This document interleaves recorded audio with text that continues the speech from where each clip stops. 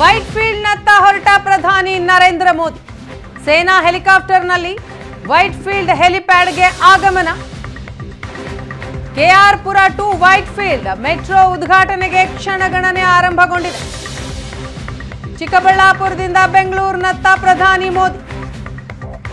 White ಫೀಲ್ಡ್ನತ್ತ ಹೊರಟಿದ್ದಾರೆ ಪ್ರಧಾನಿ. ಸೇನಾ ಹೆಲಿಕಾಪ್ಟರ್ನಲ್ಲಿ ವೈಟ್ ಫೀಲ್ಡ್ ಹೆಲಿಪ್ಯಾಡ್ಗೆ ಆಗಮನ ಆಗುತ್ತೆ.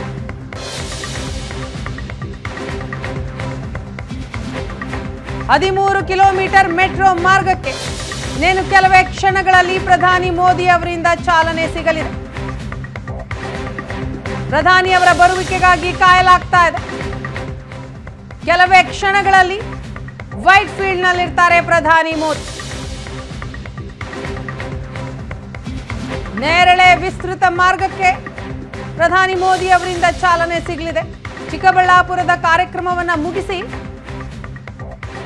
ಬೆಂಗಳೂರಿನತ್ತ ಪ್ರಯಾಣ ಬೆಳೆಸಿದ್ದಾರೆ ಪ್ರಧಾನಿ. ನೇನು ಕೆಲವೇ ಕ್ಷಣಗಳಲ್ಲಿ ವೈಟ್ ಫೀಲ್ಡ್ಗೆ ಮೋದಿ ಅವರ ಆಗಮನ ಆಗತ್ತೆ. ಅಲ್ಲಿಯೂ ಕೂಡ ಭದ್ರತೆಯನ್ನ ನೋಡ್ತಾ ಇದ್ದೀರಿ. ಪೊಲೀಸರ ನಿಯೋಜನೆ ಆಗಿದೆ. ಇನ್ನೇನು ಕೆಲವೇ ಕ್ಷಣಗಳಲ್ಲಿ ಪ್ರಧಾನಿ ಮೋದಿ ಅವರು ವೈಟ್ ಫೀಲ್ಡ್ಗೆ ಆಗಮಿಸಲಿದ್ದಾರೆ.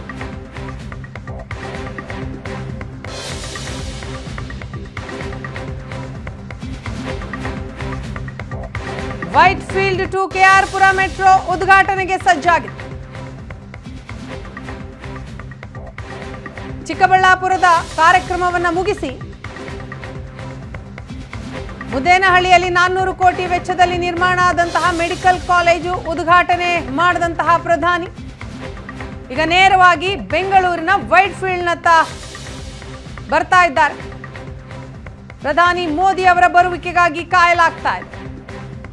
ಸೇನಾ ಹೆಲಿಕಾಪ್ಟರ್ನಲ್ಲಿ ವೈಟ್ ಫೀಲ್ಡ್ನ ತಮೂದ್.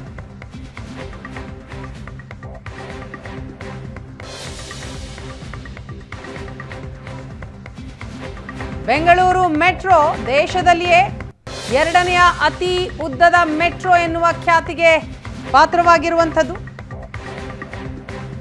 ಮೊದಲನೇ ಸ್ಥಾನ ದೆಹಲಿಗಿದ್ರೆ ಮೂರನೆಯ ಸ್ಥಾನ ಹೈದರಾಬಾದ್ನ ಮೆಟ್ರೋ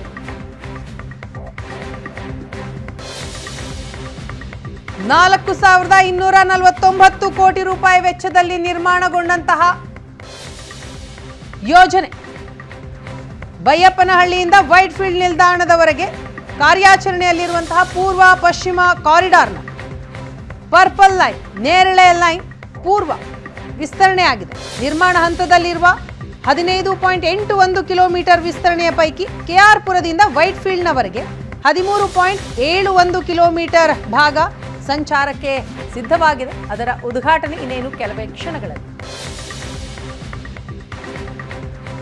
ಈ ಬಗ್ಗೆ ಮತ್ತಷ್ಟು ಮಾಹಿತಿಯನ್ನ ಕೊಡ್ತಾರೆ ನಮ್ಮ ಪ್ರತಿನಿಧಿ ಮಮತಾ. ಇದೀಗ ನಮ್ಮ ಜೊತೆ ಫೋನ್ ಸಂಪರ್ಕದಲ್ಲಿ ಇದ್ದಾರೆ ಮಮತಾ, ಇನ್ನೇನು ಕೆಲವೇ ಕ್ಷಣಗಳಲ್ಲಿ ಪ್ರಧಾನಿ ಮೋದಿಯವರು ವೈಟ್ ಫೀಲ್ಡ್ನಲ್ಲಿ ಇರ್ತಾರೆ. ಸೊ ಏನೆಲ್ಲ ಸಿದ್ಧತೆಗಳನ್ನ ಮಾಡಿಕೊಳ್ಳಲಾಗಿದೆ? ಸದ್ಯದ ಅಪ್ಡೇಟ್ಸ್ ಏನು?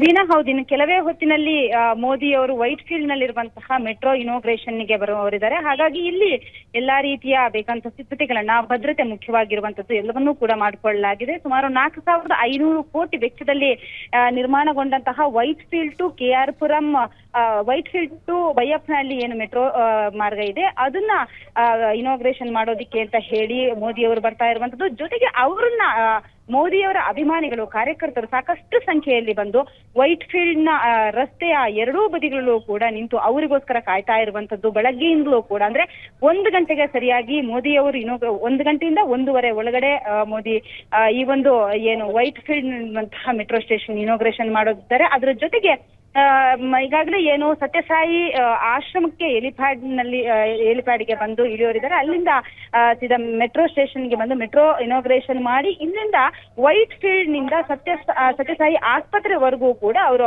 ಅಂದ್ರೆ ನಾಲ್ಕು ಕಿಲೋಮೀಟರ್ ಮೆಟ್ರೋದಲ್ಲಿ ಜರ್ನಿ ಮಾಡೋರಿದ್ದಾರೆ. ಅದಾದ ಬಳಿಕ ಮತ್ತೆ ಸತ್ಯಸಾಯಿ ಆಸ್ಪತ್ರೆಯಿಂದ ವಾಪಸ್ ವೈಟ್ ಫೀಲ್ಡ್ ಮೆಟ್ರೋ ಸ್ಟೇಷನ್ ವರೆಗೂ ಕೂಡ ಆ, ಮೆಟ್ರೋದಲ್ಲೇ ಪ್ರಯಾಣವನ್ನ ಮಾಡಲಿದ್ದಾರೆ. ಬಳಿಕ ಇಲ್ಲಿಂದ ಎಲಿಪ್ಯಾಡ್ ಮೂಲಕ ಅವರು ದಾವಣಗೆರೆಗೆ ಹೋಗುವಂತದ್ದು ಹಾಗಾಗಿ ಈಗ ಏನು ಮೋದಿಯವರ ಬರುವಿಕೆಗಾಗಿ ಸಾಕಷ್ಟು ಸಂಖ್ಯೆಯಲ್ಲಿ ಅಭಿಮಾನಿಗಳು ಕೂಡ ಇಲ್ಲಿ ಕಾತರದಿಂದ ಕಾಯ್ತಾ ಇರುವಂತದ್ದು ಬೆಳಗ್ಗೆಯಿಂದಲೂ ಕೂಡ ರಸ್ತೆ ಎರಡೂ ಪಕ್ಕದಲ್ಲೂ ಕೂಡ ಕಾರ್ಯಕರ್ತರು ಕೂಡ ಘೋಷಣೆಯನ್ನ ಕೂಗ್ತಾ, ಮೋದಿ ಪರ ಘೋಷಣೆಯನ್ನ ಕೂಗ್ತಾ ನಿಂತಿರುವಂತದ್ದು ಜೊತೆಗೆ ಒಂದಷ್ಟು ಬ್ಯಾನರ್ಗಳು, ಫ್ಲೆಕ್ಸ್ಗಳು ಎಲ್ಲವೂ ಕೂಡ ಮೋದಿ ಪರ ರಾರಾಯಿಸ್ತಾ ಇದೆ. ಸಾಕಷ್ಟು ಸಂಖ್ಯೆಯಲ್ಲಿ ಅಭಿಮಾನಿಗಳು ಕೂಡ ಬಂದಿದ್ದಾರೆ ವೈಟ್ ಫೀಲ್ಡ್ನಿಂದ ಕೆ ಆರ್ ಪುರಂ ವರೆಗೂ ಕೂಡ ಈಗ ಸದ್ಯಕ್ಕೆ ಏನು ಈ ಒಂದು ಮೆಟ್ರೋ ಮಾರ್ಗ ಇನಾಗ್ರೇಷನ್ ಆಗುತ್ತೆ. ಅದಾದ ಬಳಿಕ ಆರು ಆರು ತಿಂಗಳ ಬಳಿಕ ಕೆ ಆರ್ ಪುರದಿಂದ ಕೆ ಆರ್ ಪುರಂ ಇಂದ ಬೈಯಪ್ಪನಹಳ್ಳಿವರೆಗೂ ಕೂಡ ಏನು ಮುಂದುವರೆದಂತಹ ಎರಡು ಕಿಲೋಮೀಟರ್ ರಸ್ತೆ ಕಂಪ್ಲೀಟ್ ಆಗುತ್ತೆ. ಈಗ ಅಂದ್ರೆ ವೈಟ್ ಫೀಲ್ಡ್ನಿಂದ ಬೈ ಕೆ ಆರ್ ಪುರಂ ವರೆಗೂ ಸುಮಾರು ಹನ್ನೆರಡು ಮೆಟ್ರೋ ಸ್ಟೇಷನ್ಗಳಿದಾವೆ. ಹದಿಮೂರು ಕಿಲೋಮೀಟರ್ ಏನು ರಸ್ತೆ ಏನಿದೆ, ಅದಕ್ಕೆ ಇವತ್ತು ಅಧಿಕೃತವಾಗಿ ಚಾಲನೆ ಸಿಗ್ತಾ ಇರುವಂತದ್ದು. ಹಾಗಾಗಿ ಎಲ್ಲಾ ರೀತಿಯ ಭದ್ರತೆಯನ್ನು ಕೂಡ ಒದಗಿಸಲಾಗಿದೆ. ಸಾಕಷ್ಟು ಸಂಖ್ಯೆಯಲ್ಲಿ ಪೊಲೀಸನ್ನ ನಿಯೋಜಿಸಲಾಗಿದೆ. ಯಾಕಂದ್ರೆ ಮೋದಿ ಅವರು ಬರುವಂತಹ ಸಂದರ್ಭದಲ್ಲಿ ಅಂದ್ರೆ ಆಗ್ಲೇ ಹನ್ನೊಂದು ಗಂಟೆಯಿಂದನೇ ಇಲ್ಲಿ ಸಾರ್ವಜನಿಕ ವಾಹನಗಳಿಗೆ ನಿರ್ಬಂಧವನ್ನು ಕೂಡ ಹೇರಲಾಗಿದೆ. ಯಾವುದೇ ರೀತಿಯ ವಾಹನಗಳಿಗೂ ಕೂಡ ಒಳಗಡೆ, ಅಂದ್ರೆ, ಇಲ್ಲಿ ಪ್ರಯ ಬರೋದಕ್ಕೂ ಕೂಡ ಬಿಡ್ತಾ ಇಲ್ಲ. ಎರಡೂವರೆ, ಹನ್ನೊಂದರಿಂದ ಎರಡೂವರೆ ತನಕವೂ ಕೂಡ ಸಾರ್ವಜನಿಕ ವಾಹನಗಳಿಗೆ ನಿರ್ಬಂಧವನ್ನ ಹಾಕಿರುವಂತದ್ದು. ಅದಕ್ಕೆ ಏನು ಮೋದಿ ಕೆಲವೇ ಹೊತ್ತಿನಲ್ಲಿ ಸ್ಟೇಷನ್ಗೆ ಮೆಟ್ರೋ ಸ್ಟೇಷನ್ಗೆ ಬಂದು ಮೆಟ್ರೋ ಇನಾಗ್ರೇಷನ್ಗೆ ಬರೋರಿದ್ದಾರೆ. ಹಾಗಾಗಿ ಸಾಕಷ್ಟು ಸಂಖ್ಯೆಯಲ್ಲಿ ಅಭಿಮಾನಿಗಳು ಕೂಡ ಕಾತರದಿಂದ ಕಾಯ್ತಾ ಇರುವಂತದ್ದು. ವೀಣಾ ಎಸ್ ಮಮತಾ ಮತ್ತೊಂದು ಗಮನಿಸಬೇಕಾದಂತಹ ವಿಚಾರ. ಇದೇ ಮೊದಲ ಬಾರಿಗೆ ಪ್ರಧಾನಿ ಮೋದಿ ಅವರು ಮೆಟ್ರೋ ಉದ್ಘಾಟನೆಗೆ ಅಂತ ಬರ್ತಾ ಇರುವಂಥದ್ದು. ಸೊ ಈ ನಿಟ್ಟಿನಲ್ಲಿ B M R C L ಯಾವ ರೀತಿಯ ತಯಾರಿಗಳನ್ನು ಮಾಡಿಕೊಂಡಿದೆ? ಮೆಟ್ರೋ ಸ್ಟೇಷನ್ ಹೇಗೆ ಕಾಣಿಸ್ತಾ ಇದೆ?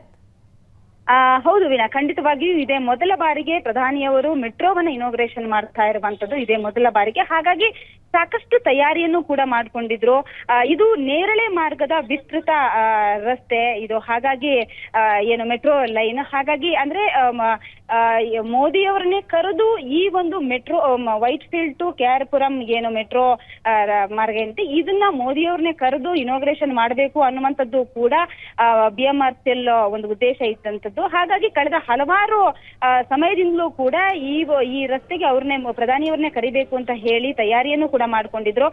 ಮೋದಿಯವರು ಕಳೆದ ಬಾರಿ ಬಂದ, ಕಳೆದ ಬಾರಿಯೇ ಬಂದಾಗ್ಲೇ ಇನಾಗ್ರೇಷನ್ ಮಾಡಬೇಕು ಅಂತಂದ್ರೂ ಕೂಡ ಅದಕ್ಕೆ ಸರಿಯಾದಂತಹ ಸಮಯವನ್ನ ಕೊಟ್ಟಿರ್ಲಿಲ್ಲ. ಹಾಗಾಗಿ ಈ ಬಾರಿ ಈಗ ಇದಕ್ಕೆ ಮುಹೂರ್ತ ಫಿಕ್ಸ್ ಆಗಿರುವಂತದ್ದು. ಇನ್ನು ಮುಖ್ಯವಾಗಿ ಈ ರಸ್ತೆಯಲ್ಲಿ ಸಾಕಷ್ಟು ಸಂಖ್ಯೆಯಲ್ಲಿ ಜನ ಓಡಾಡುವಂತದ್ದು ಐ ಟಿ ಬಿ ಕಂಪನಿಗಳಿದಾವೆ. ಹಾಗಾಗಿ ದಿನನಿತ್ಯವೂ ಕೂಡ ಟ್ರಾಫಿಕ್ ಜಾಮ್ ಆಗತ್ತೆ.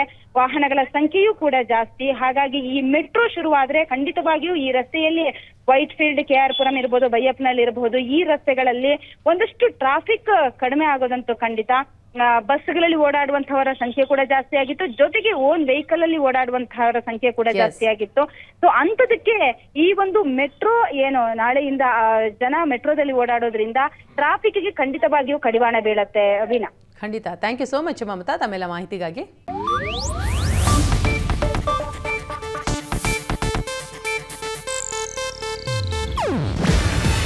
ಇದು ಏಷ್ಯಾನೆಟ್ ನ್ಯೂಸ್ ನೆಟ್ವರ್ಕ್ ಪ್ರಸ್ತುತಿ. ನೀವು ನೋಡ್ತಿದ್ದೀರಾ ಏಷ್ಯಾ ನೆಟ್ ಸುವರ್ಣ ನ್ಯೂಸ್.